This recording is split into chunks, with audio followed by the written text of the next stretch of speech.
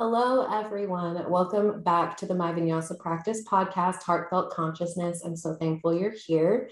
This week, we have MVP's Sue Goodly with us. Sue, how are you today? I'm doing well, Micaela. How are you?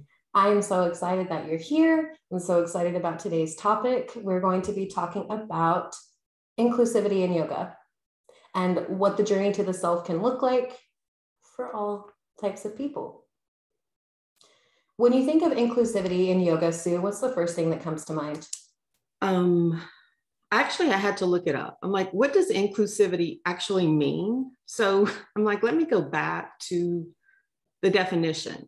And it was very interesting for me to read that, you know, it's the practice of equal access to opportunities for all. And regardless of physical or mental disabilities, um, or belonging to my minority group. So I put that um, in a framework of yoga. And I'm like, it was very interesting because, of course, that's what we try to do. But I was looking at the physical disability side and thought for some yoga teachers, that might mean someone overweight, someone older. You know, it can mean so many different things. But it was just interesting. I know for me, it means whoever shows up, I gotta find a way to teach them. And um, it's a challenge sometimes. And, you know, it's just, we all, life is yoga. We all need yoga. Um, it just means so many things. It's such an open ended question for me.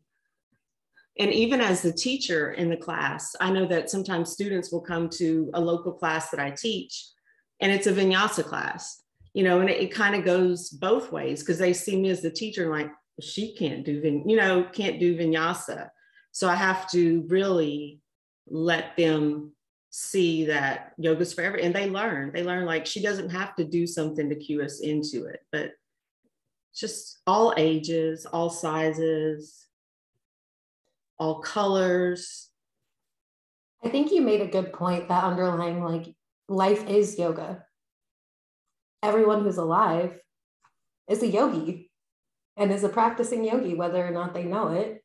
Um, and it's really interesting that you bring up physical disability because last week we talked with Steffi a little bit about her club foot and what that what that's like for her because it can kind of be invisible to people who don't know what they're looking at or what they're looking for. Um, and so it's interesting to hear your take versus Steffi's take. Mm, yes. What do you feel is the most challenging for you as far as feeling as though people view you as someone who doesn't vinyasa? That's probably a lot of my own material as well. I didn't say that to start, but I know that's a lot of my own. The challenge is to, it's a challenge every time the class is like, and then I am like, okay, I hope only I do it. I'm like, I hope only older ladies show up for vinyasa today and no muscle looking people, you know. Muscle looking people. I hope that, you know, it's people that I'm comfortable with. So a lot of that is my own material. But the biggest challenge is just the first few poses and just, you know, I'm not going to sit there and say, hey, I know how I look, but maybe that would be a good strategy. Like, I know I look like, maybe I should start with that. That would be real, you know, but um, you'll have a good class anyhow because you can just read people's faces sometimes and it's, um, but they come back and it's okay. But they come back and it's okay. I love that. So I have similar experiences because I also live in a bigger body. Um, and sometimes I feel as though people are surprised to see me. Um, and I feel like I agree with you. It's the first few moments of class that are the hardest because, yeah, it probably is our material, but I don't know. It, it's hard. It's hard to balance. Um, but that same feeling is kind of what I use. You know, I don't want my students to ever feel that way. Right. Exactly. That's what informs my teaching 100%. Like, I don't want anyone to come into my not even my, the yoga class. And yeah, feel like they don't belong or they shouldn't come back. Or because someone comes to class, they registered or they walked in for a yoga class, they need yoga. They've realized, they've even begun that journey of self realization that they need something. And you don't want to leave them with a bad taste in their mouth for the practice or you know make them think it's not for them and that's our lineage right i remember reading in heart of yoga desikachar talking about its father talking about krishnamacharya and like my dad's yoga was all about meeting students where they are and this is not a you know this is there's history to this you know and it's just really good to be part of that lineage and just starting, I remember there was a sentence in there about starting from where the student is. That's inclusivity, you know. Ooh, that gave me chills. Starting from where the student is. Yes. I love that. Ooh, that gave me chills. See, I'm serious. It's um, from Heart of Yoga. Yeah, I mean, that's just text that I remember because, yeah, starting from where they are. And that could be with anything. That could be with breath work. You know, if it's someone brand new, you don't want to introduce them maybe to breath of fire right away. Someone or, did that to me and I got real nauseous. Yeah. Yeah. And I'm, yeah, it's not some, you know, just they maybe have never thought about their inhale and their exhale. That's a perfect place to start.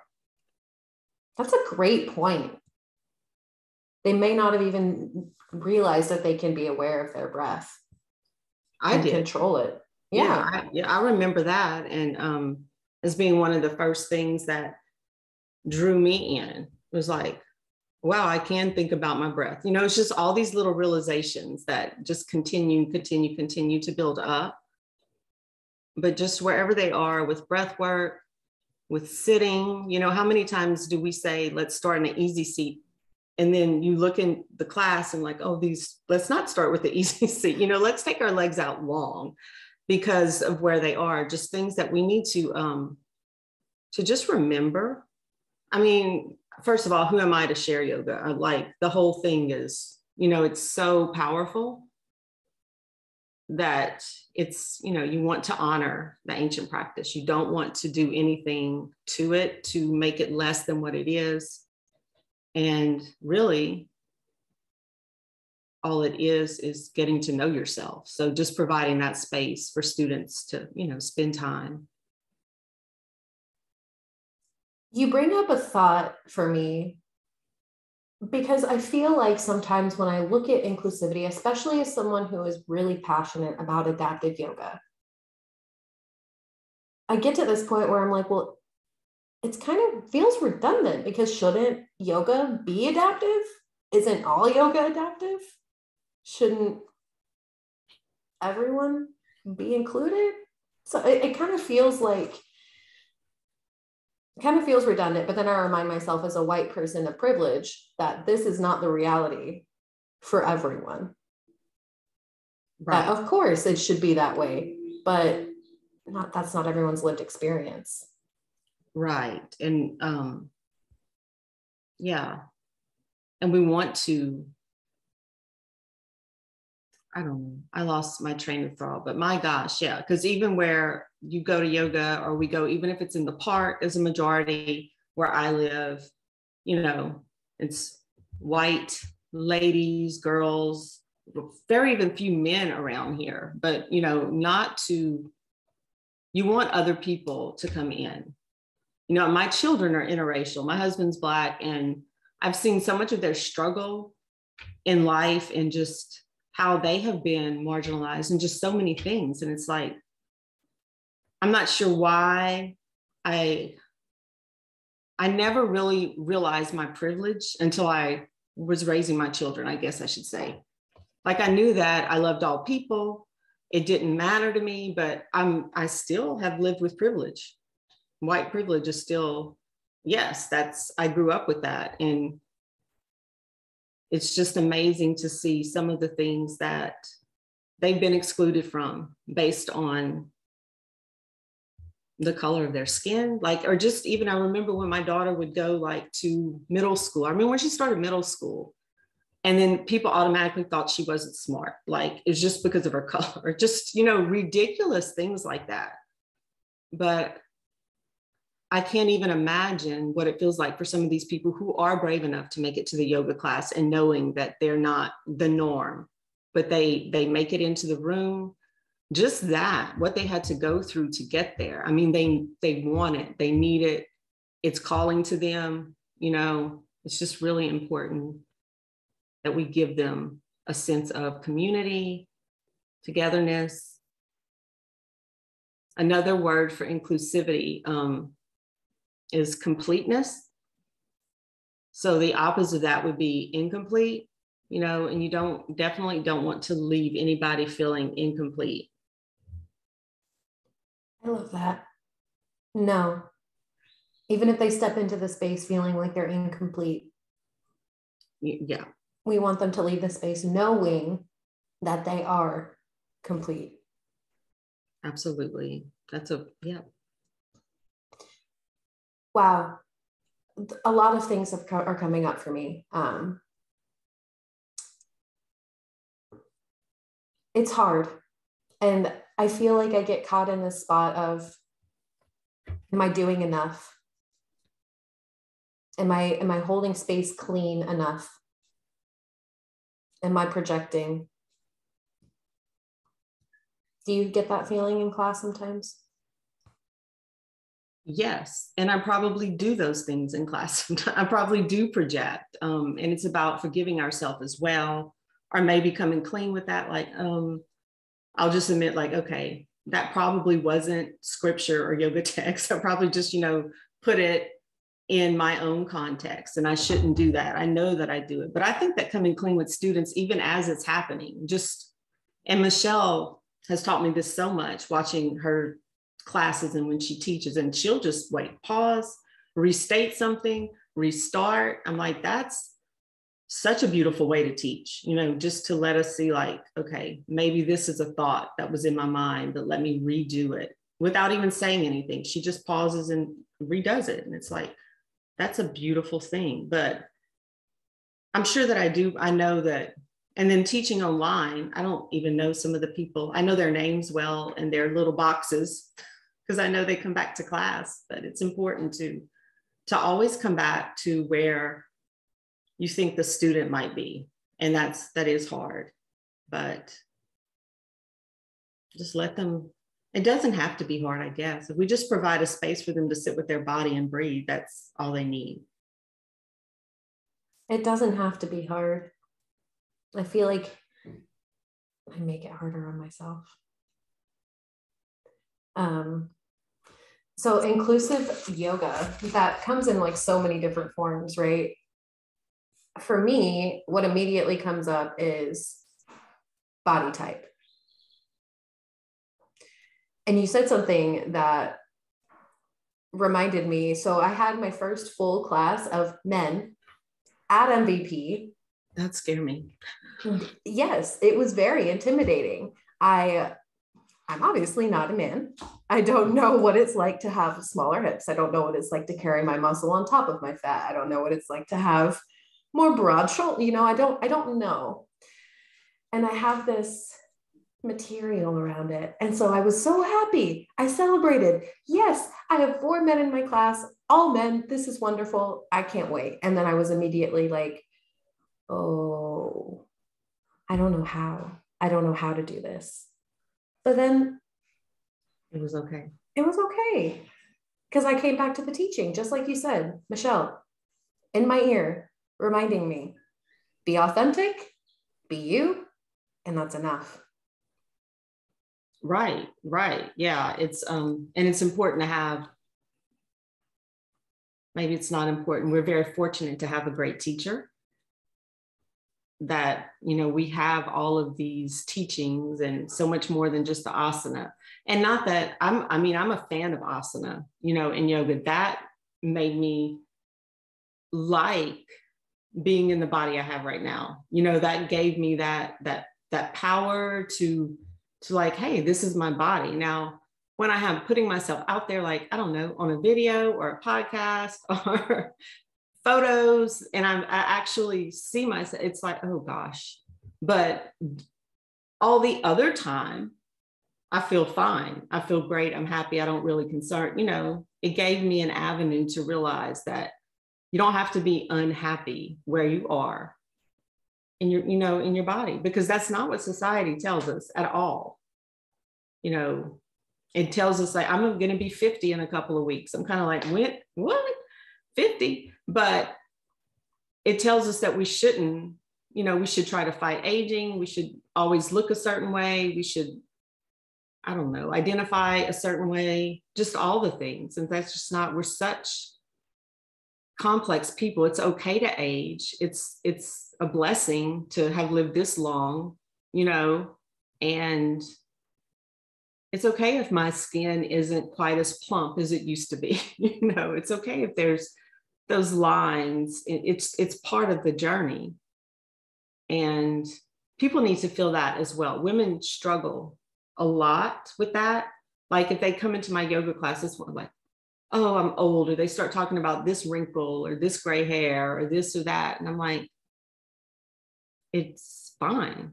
You're you know you're beautiful. You look okay. Look at what your body can do. Look at what your body can do. Because they you know they're doing all of these poses they're matching their breath.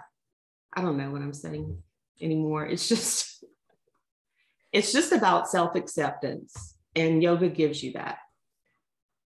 And that really lends to kind of the whole idea of inclusivity because there was never any point in time when yoga decided that it was exclusive and only a certain amount of people in a certain path of their enlightenment can practice it. When we practice inclusive yoga, we are practicing what we believe in that it's not ours to give, right? Everyone already has it within them. We're just guiding people towards their own enlightenment, showing them that they can. Absolutely. That's yes, it's just a guide. Yeah. Um and I just really really want everyone to have it. so I guess that's an attachment of mine that I need to work on as well, but it's like I just want everyone to know they can find peace within themselves and it can be a beautiful place to rest. I think that's why a lot of us decide to become yoga teachers right? Because I, well, for me anyway, I hit a low point in my life and yoga was my saving grace. I guess I should say yoga showed me that I was my own saving grace and that I didn't need to rely on anything outside of myself. Um, and so I think a lot of us come to it wanting to share that healing, that relief of suffering with our students. Absolutely. And you do a great job with that, Micaela. Your classes are phenomenal every time. I love taking your classes. Oh, Sue, I feel the same way about you. I think you're magnificent. And our students love you. I was talking to oh. someone else the other day about you, and she, I don't remember her name. Oh, I'm so sorry, student, if you're listening. She talked about how your just your presence, how comforting and open and welcome she felt. Oh, that's so sweet to hear. Thank you, student, as well. Yes. Thank you. If I think of her name, I'll tell you. Yeah. That's uh, that's really sweet and beautiful. I mean, because all of this is not like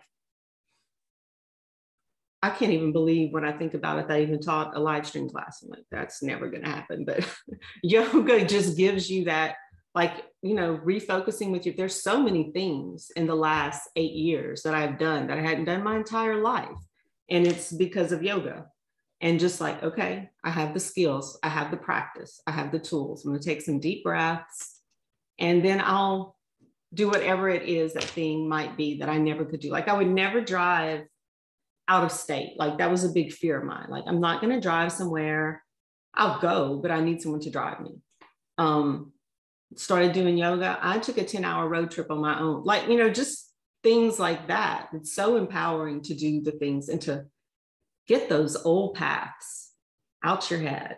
All the stuff the world has tacked on to us, just experience, some scars, right? Just to to just get rid of that and actually build new paths and know that it's okay to change. There's nothing wrong with that. People change, you know, humans change, and that's okay. We're absolutely, we're constantly in a state of flux. And I think that that's what vinyasa kind of holds space for. It puts us in the practice of noticing when something changes, what happened? How did your experience change? And then the realization that you did that. That came from inside of you. Um, which is part of the reason why I love vinyasa because it helps me. It, like you said, I love asana. I love it because it allows space for me to touch the more subtle parts of myself. Yes, it's a practice, absolutely. Or just to, yes. Um, I know that a lot of people say it's more than asana, or maybe asana has been getting a bad rap or something in some some avenues of the community, but I always defend it. And maybe I'm the last person who would defend it, but that's how I came to peace with myself you know, connecting the breath, the body, just making all those connections so you can go deeper in. It helps bring you in, absolutely. And what a nice mind break. If you're linking breath to movement, you're not thinking about anything else but, okay, they told me to send my hips up on the exhale, you know, and it's just, it just becomes a beautiful, I don't, to me, it's, I know a lot of people refer to like Shavasana as like a meditation or prayer time, but to me, the whole practice is, it's just so meditative. I like to practice with my eyes closed. You know, um, I like to have to open them sometimes too. Maybe there's a new asana that's so that I've never done before, you know, and you just double check to make sure you're going that right direction because you're like, oh, I can't do that. Or maybe I can. So just all comes back to being inclusive with yourself as well, I guess. Yes because the journey to the self is inclusive for everyone. And that's something that you said when I originally asked you to come onto the podcast um, and asked what you might want to talk about. And you said yoga is a journey to the self. And I've just, that's been sitting in my heart space for a little while. And honestly, I think that's what makes yoga inclusive that it's the journey to the self. Absolutely. I like that. It doesn't matter. Yeah. It doesn't matter. And of course, I'm in this Tantra training now, which that's a journey to the self deep deep but it's just more practices to and it's it's a beautiful thing you know and i'm so honored to be part of that training but it, it kind of puts a name to a lot of things that you know you felt and then just to realize this is ancient wisdom. This has always been true you know and it's just even more stuff you want to share but you have to hold back on some of it i suppose. I feel like i could talk about yoga forever and ever and ever. Holding back is not my strong suit. It's not my strong suit. no but you can't teach a yin class and just learn about all these bandhas and try to throw it in there. That's not right. Like, it's not smart. Mm-mm, doesn't work. No, no. Too complex. Um, I love that. I think that the whole practicing with your eyes closed really, really lends to the fact that it's a moving meditation, not a workout. I've been hearing a lot from people in my life who aren't deep within the practice like I am course, they're yogis. They're in their own practice because they're choosing not to practice. They're choosing not to do all of these things, right? Um, so they're in the practice. But I get a lot of, uh, I don't want, uh, I don't want to work up a sweat, or I'm going because I want to work up a sweat, and it's one or the other. And then I'm like, but it's not about that. You could lay on your back the whole time, or you could do a high plank the full 60 minutes. Oh my goodness. like, could. You could do whatever you want. And yeah. so choosing to arrive, that's important. Yes, absolutely. I can't even think about a 60 minute plank though. but you know, and I had students that and I always say that, as we all do, you can do anything you want to do. You don't have to, um, you know, do the poses I say. It's only suggestions. We tell this to them all the time. And it's very important that we say that, of course. But I've had students who took me up on it before, and it's like, okay. And it's fine. But at first, even that is a little alarming, you know, like, okay, they're literally doing their own practice. But at the same time, it's so beautiful that they just wanted to share the energy with other people in the room and showed up and did their own thing. And I'm like, that's accessible, inclusive yoga right there. Because there's nothing wrong if that person can pop in a headstand. You know, we, it has to go both ways you know that yes important. that is important and at mvp i think we do such a such a such a good job of adapting for less sensation and more support that a few times our students have been like well what about us on the other side who want to take it further which i think is a beautiful reminder because you're right it has to go both ways it has to go both ways otherwise we're not being inclusive anymore and we're passing judgment. And, and I do, you, yeah, we have to be careful. I do that. I had like, I taught a chair class. It didn't work out locally, so it went away. Um, because what for whatever reason the people I was targeting weren't coming. You know, I wanted people who who needed chair yoga, and then these people would come in. These super fit people would come into my chair yoga, and immediate like, why are they here? Now you know what do they? what do they want from me? But um, it was fine. We did chair yoga. They just wanted to breathe, you know, but I have to be careful with that because I'm like, not who I wanted to come to my chair class. I wanted people, you know, senior people or people with recovering from, you know, I wanted people who needed to sit down and that's not what I was getting. So I had to adapt my practice to teach them and get them into their bodies and do a little bit more. But I have to carefully watch that because I like to be challenged. You know, you want people to get better physically as well, not just, it's not just self realization. Let's take advantage. We're moving. Let's move in a way that's healthy for our bodies. It's going to help us. Absolutely. Absolutely. I love that. It can be hard though. It can be hard when you have expectations for what your class is going to look like. And then the universe has a funny way of giving you what it thinks you need. Yes. And voila, you must try something new. Um, I think that's beautiful though. Just being able to hold that space. That's what it means to be an adaptive yoga teacher, an inclusive yoga teacher, is being able to meet your students exactly as they are. So you might not have wanted people who maybe looked like they were very physically fit to come in, but hello, the universe said, yes, you will have them. Right. It did. and I made it through and it was okay. You did. And I bet um, you grew from it as much as the students grew from it. Oh, absolutely. Yeah. Just totally know that we should never go in with expectations, but sometimes we do. But labels are fluid. Labels are fluid. Labels are fluid. It helps me too when I feel like it's frustrating that not everyone sees yoga as we do.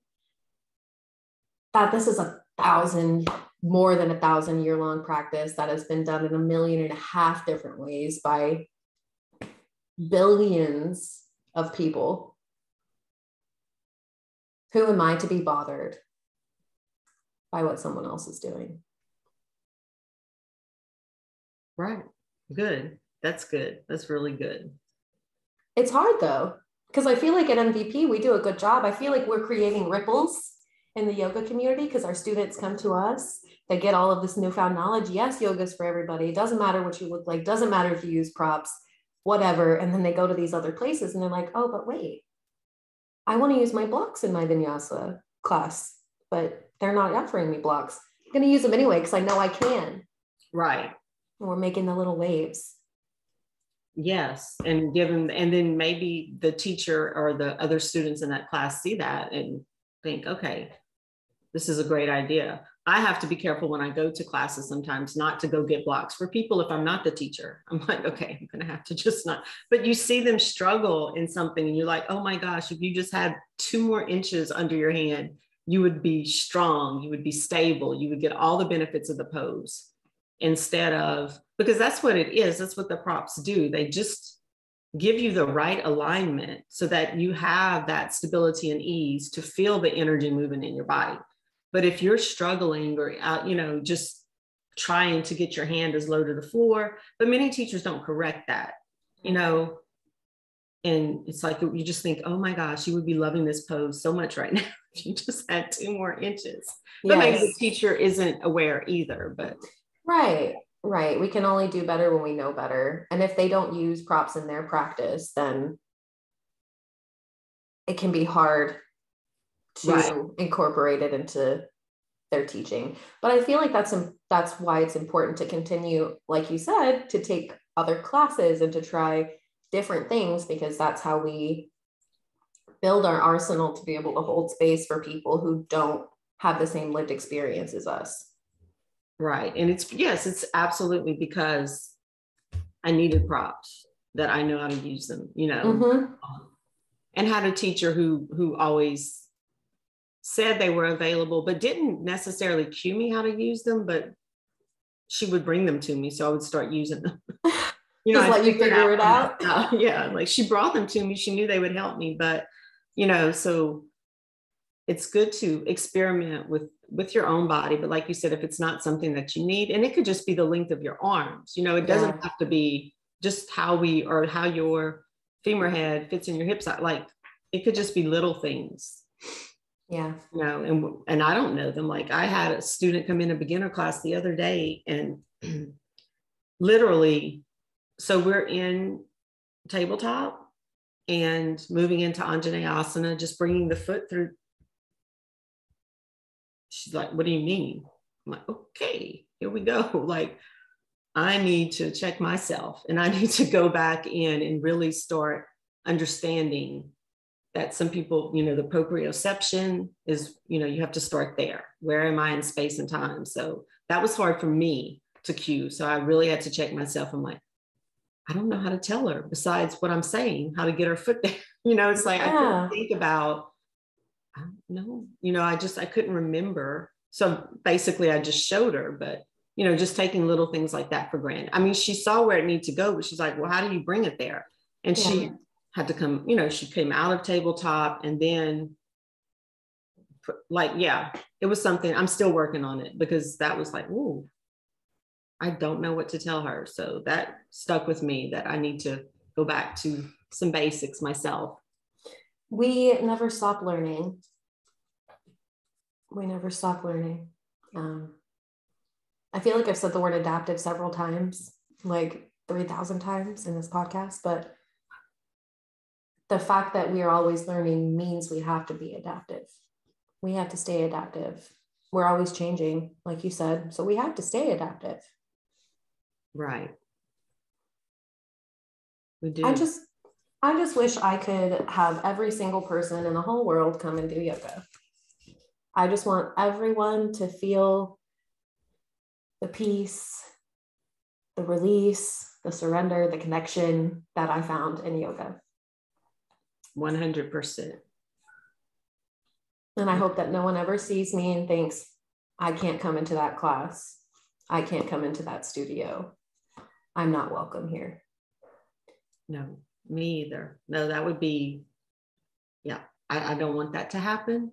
And I will continually to work and change and improve my teaching and, you know, just continue to try to uplift the entire collective. And I think that, you know, I love what my vinyasa practice is doing. All these yoga teachers out there, just think how many more people are getting to know the practice. You know, I just love that online environment and a quality training all came together and that people are actually being prepared and wanting to share and feeling good about themselves and feel good feeling good about sharing it it's just it's exciting to think that it's you know reaching more and more people. And talk about inclusive. That's an example of inclusivity right there. Um, the online offering, we literally have students all over the world of all walks of life, all socioeconomic status. I feel like working at MVP has really held space for me on my journey to be an inclusive human, not even just a teacher, an inclusive human. I agree. Yes. Just definitely all the people that we get to meet and the community. And it's just like, and then just feeling so at home with them, you know, just having an office hours or being in a lecture that someone's leading and, you know, you just like feel like even through Zoom, I've made so many friends that I've never met, but just sat with people that are like minded and just immediately find comfort with. It's a beautiful thing.